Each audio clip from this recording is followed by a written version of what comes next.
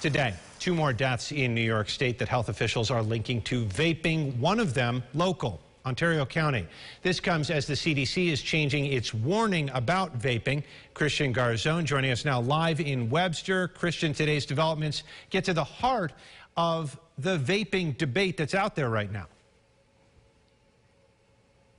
Well, Adam, the debate comes down to this question. Is all vaping dangerous or just a certain type of vaping? Those behind End Vape here say the news today should not be taken as evidence that vaping can lead to this type of illness.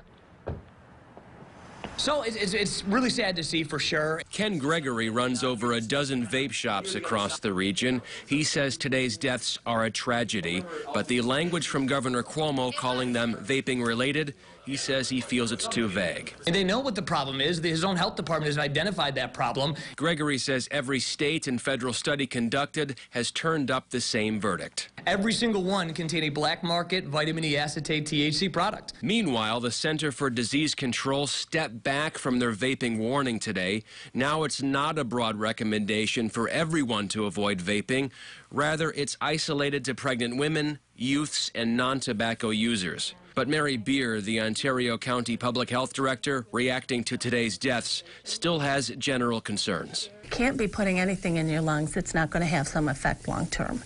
Uh, unfortunately, now we're seeing the repercussions much earlier than we expected. And the pressure from Albany is still there. Gregory says even with the smoking age now at 21, heavy taxes and fines, Cuomo wants to ban all e-cigarette flavors. Chad Lucas has been vaping for 10 years. He feels any further restrictions will hurt businesses and get people back on worse habits like cigarettes. No, but I don't think that the answer is to take something off the shelf that, that um, law-abiding adults want.